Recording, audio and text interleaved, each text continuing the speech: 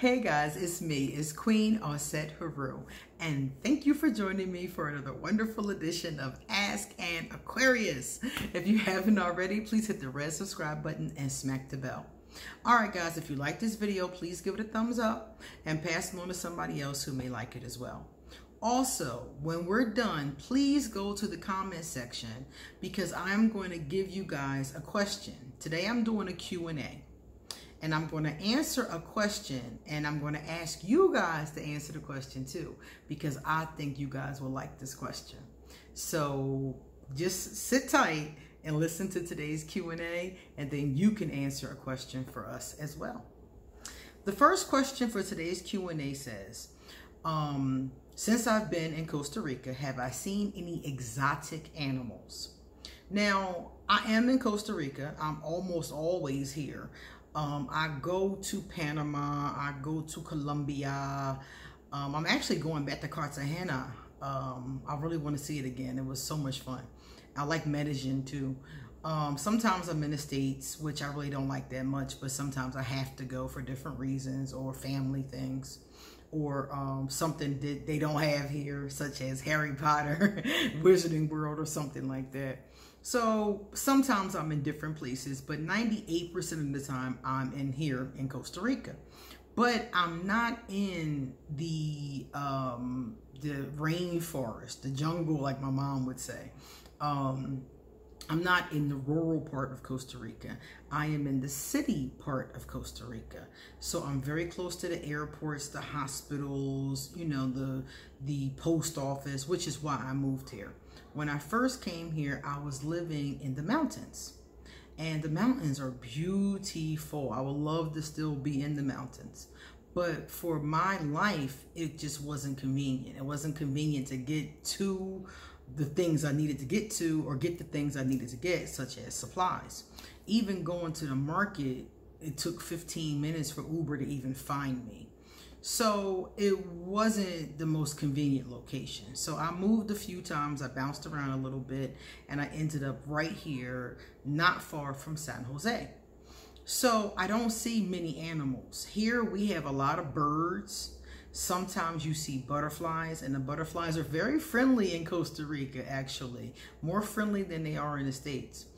Um, and that's it. I know there are some sloths where I came from in the mountains, they kept telling me they would see sloths.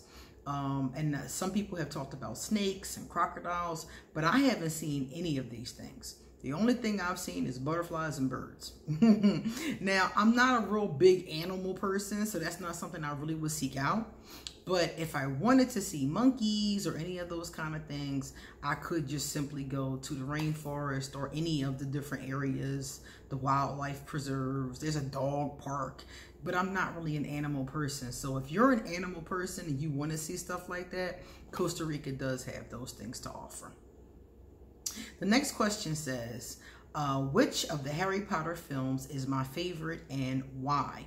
I have seen all of the Harry Potter films and now I'm listening to the audiobooks because as any Potterhead will tell you, they left a lot out of the movies.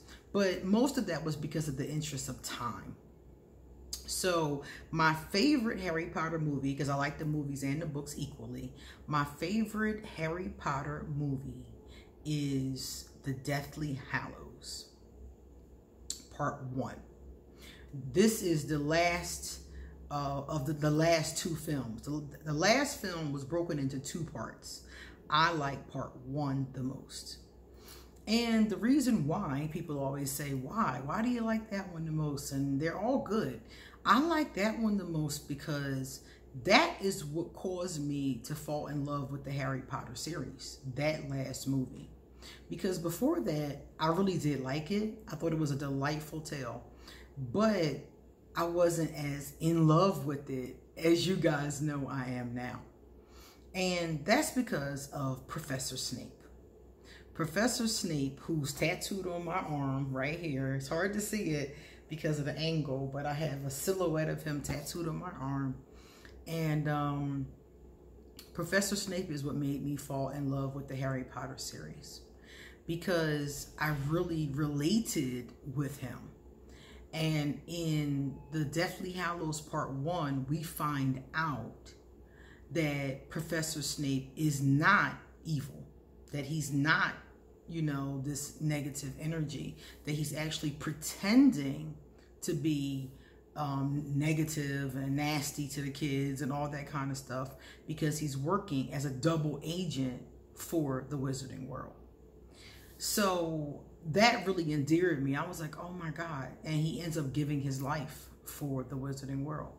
So I just thought it was the most beautiful thing in the world. And in that particular movie, when we find this out, Dumbledore says to him, um, he's asking him, why does he help Harry? He's like, have you grown to care for the boy? And he says something to him. And then he says, Lily Evans? Because Lily Evans is Harry's mother. And Snape did everything he did because he was in love with Harry's mother. He risked his life. He did everything because he was in love with Lily. And Lily married another man and then she died and you know life has gone on and Snape is still in love with Lily. And I really related to that because I feel like if you love somebody, even if it's not the right person, sometimes that love lingers. And it can linger years, decades, you know, half a century even. And um he says to him, he's like, Lily Evans? Like Dumbledore is even surprised, like after all this time? And Snape is like, always like always. There's nobody that he ever loved. So it just touched my heart. That scene really touches my heart. And that is what made me fall in love with Harry Potter. And that's why to this day, when you see me, I have all this Harry Potter stuff around me and I'm, you know, listening to the books or I might go to the wizarding world and I'm like really into, you know, talking in different groups about the, the, um, the different character plots and themes and things like that. And I love watching the movies, even the new ones that have come out that were prequels to the Harry Potter series. I like them too and a lot and it all started with me loving snape. I adore snape. And it's funny because snape is a capricorn and i don't have the most close relationships with capricorns but i adore him. I did adore my grandmother and she was a capricorn too. So there some some um, crossover there. But anyway, that's why I love Harry Potter and that's why I love that particular movie. And that's how I fell in love with Professor Snape because I really identified and understood him. When he said that, it was like, he only said one word, always. And it hit me right in the heart. And I was like, gotcha. That's all he had to say. And I totally understood him from that point on. Then it says, what part of Africa did you go to and what were your experiences in Africa? I went to Ghana, West Africa. And I went to Ghana, West Africa because 87% of the enslaved Africans who were stolen from the continent were stolen from West Africa. And I wanted to go back. I wanted to see my family's roots, the roots of my ancestors. And I didn't have much to go on as far as family history. All I knew was that 87% of us came from a certain region. So I went to that region and enjoyed the food and the hospitality and the dance and took classes there and had a wonderful time. I even started to see a man while I was there. This was in 1999. And um, I realized I ended up leaving this man because I realized that I wasn't in love with him. I was in love with the idea of taking my bloodline back home. I wanted to take my bloodline back home. So my family, our ancestors were stolen from this place. And I just wanted to take that back, like kind of reclaiming what was stolen from us. And I realized that that's what it was all about. It really wasn't a love of him. It was a love of that. So I ended up leaving him because I was like, I don't even like him. like I just, it kind of like this one day I realized that I was like, you don't even like him. You like the thought of this. So I left it alone and I moved on with my life and I loved um, Ghana. Ghana was cool. I had a great time in Ghana. Ghana is a beautiful place. There aren't any animals in Ghana. West Africa is all culture and dance and festivals and things like that. So I had a wonderful time there. I have a lot of jewelry and clothes from there that I still wear all the time. And I went in 1999. So I'm sure it has built up a lot since then.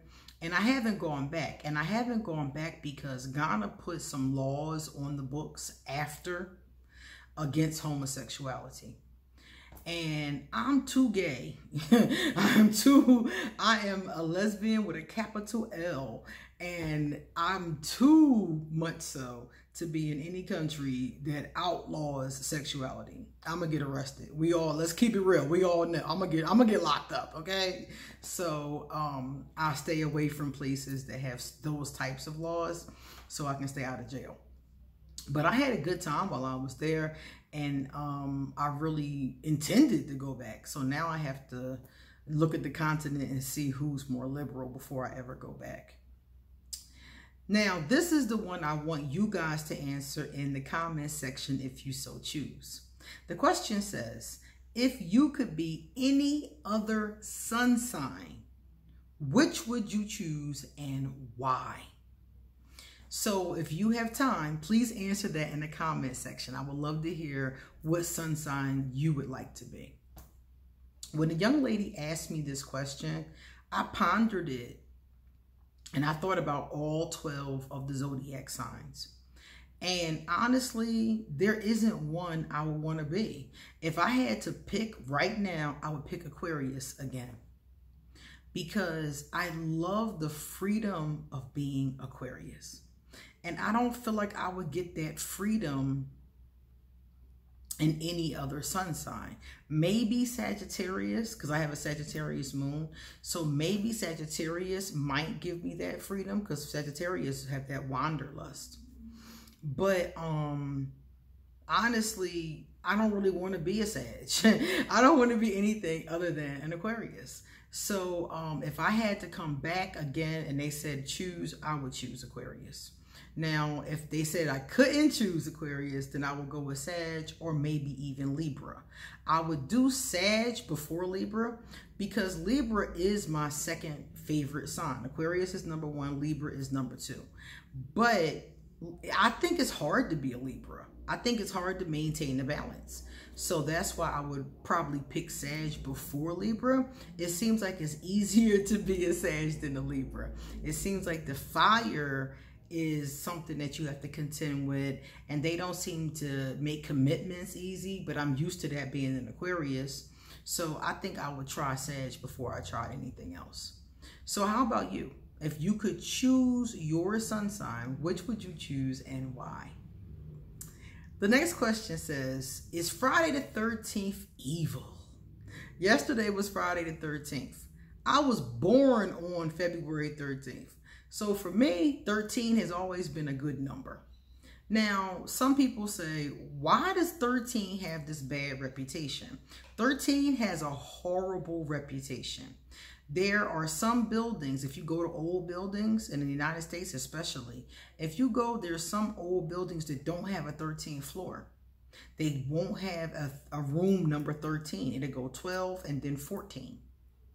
And why is this? Because 13 was considered to be bad luck.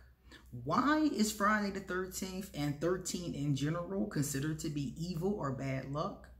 Well, you got to understand something.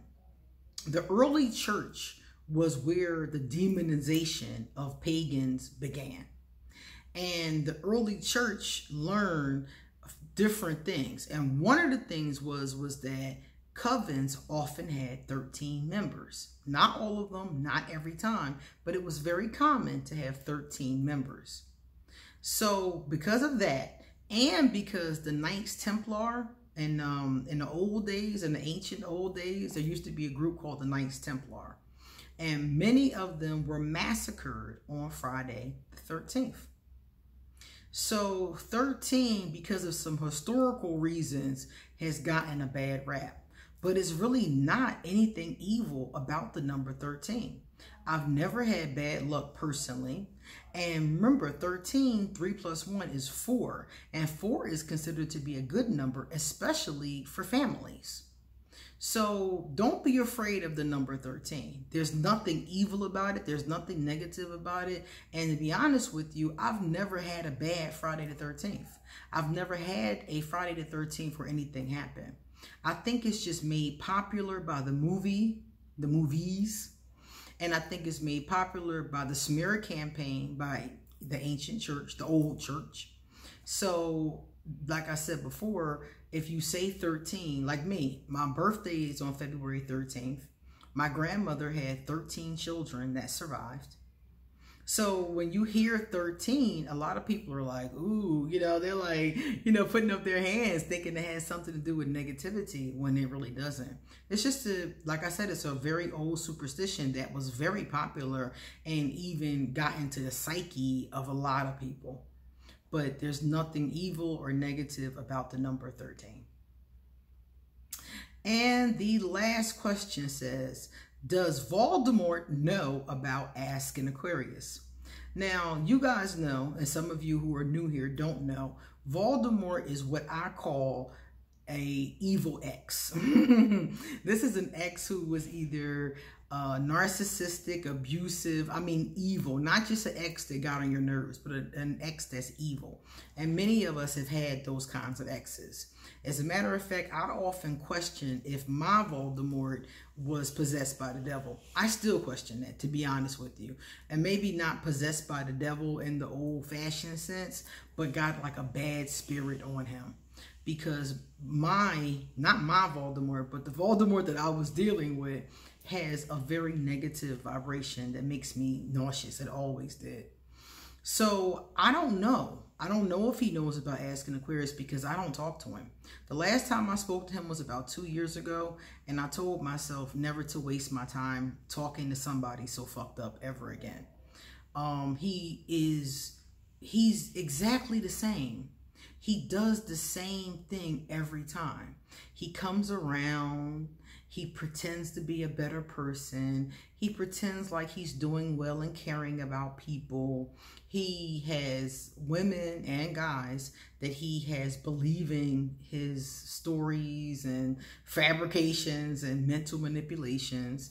And then he'll come to me and brag about how stupid they are for believing him, which to me is the epitome of evil and um then very quickly because i'm i usually just kind of go along i'm like oh okay good i'm glad you're doing good that's what's up i usually just kind of give it lip service and then eventually during the course because we'll have more than one conversation and he can't keep it up past one or two conversations the crazy always comes back out the negative the evil always comes back out and he can't hide it. And my stomach don't lie. my vibrations do not lie. So it always comes back out. So I told myself after the last time, the last time I had a really hard time shaking his bad energy. I had to, you know, use Palo Santo. I had to use frankincense and myrrh. And that's when I really started to realize that whenever I talk to him, and it's been, it's always been like this. I even said it to him. He used to get angry about it, but it's always been like this. I always get nauseous around him.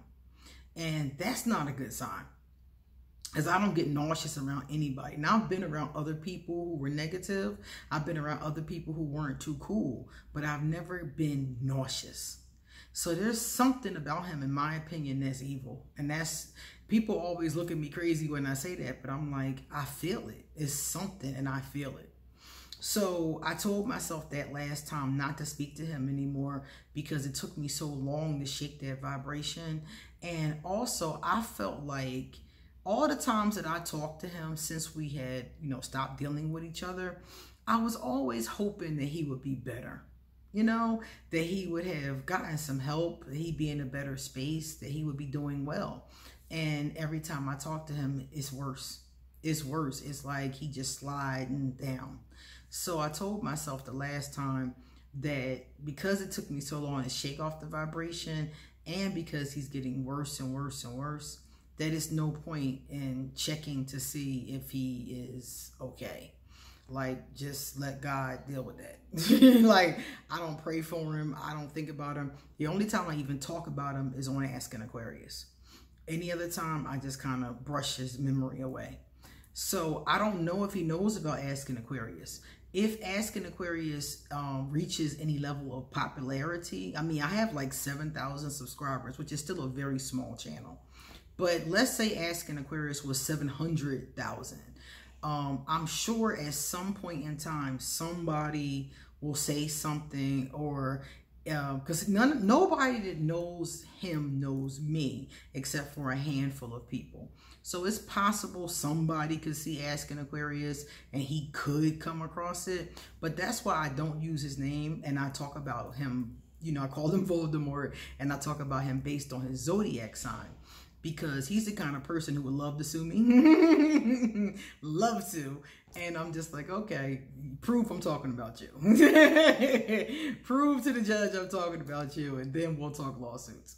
So um, basically, that's the way that it goes. Um, I don't know, and I really don't care because, like I said before, it's not like it would make a difference if he did or not. Voldemort is the kind of person who will never get better. He'll never admit his faults.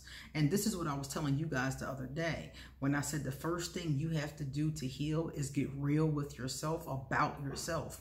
Voldemort lies to himself about himself and then surrounds himself with people who believe the lie. And this is the real psychotic part because he surrounds himself with people who believe the lies about himself, that he's this great person. So that when somebody like me shows the truth, they think I'm crazy or I'm lying or I'm scorned or I'm bitter, you know? But honestly, I don't even have to say anything because other people that I know who met him, you know, outside of me, always ask me, what the hell is wrong with him? And I just smile because I'm like, he can't hide it. He can't hide that crazy. So that's what I was saying before. You have to get real with yourself. And if you're lying to yourself about who you are and then surrounding yourself with people who are going to perpetuate that same lie and pat you on your behind and tell you, no, you're great. You're a great person, you know, because they're emotionally manipulated by you, you're never going to get better. So I had to realize the last time I spoke to him that he's never going to get any better. Um, from what I understand of him, and I don't know very much about his background, just what he said, but from what I understand of him, there are some mental health issues. But I just feel like it goes deeper than that. I feel like there's some spiritual issues there too. There's some type of negative spirit on that boy because he he he not right. And I'm not just talking about a negative person, a bad person, a jacked up person. I'm talking about a person that makes me feel physically uncomfortable when I'm around them. There's something there. Sociopath, psychopath, possessed, something. There's something seriously wrong there. So, like I said, I don't know if he knows about ask an Aquarius, and I really don't care. As long as he stay away from me, I'm cool. I'm good. As long as he keep him and his disturbing, negative, and yucky, uh, low vibrational, demonic energy way over there, I'm good. You know. And um, if he did, you know, come to ask an Aquarius and leave a comment or something like that, I would just block him. You know, that's what I do whenever he pops up. I just block him. Because, like I said before, um, those kind of vibrations are never good. All right, guys, it's time for me to get going. So if you like today's video, remember to give it a thumbs up. Don't forget to answer the question if you want to in the comment section about your sun sign. If you would like to get a reading done, please email me and I'll give you an appointment. And all my information will be underneath this video. So if you would like to get in touch with me on social media or if you would like to hit me up because, oh, the other thing is, is that I'm getting ready to record the witch trials for this week.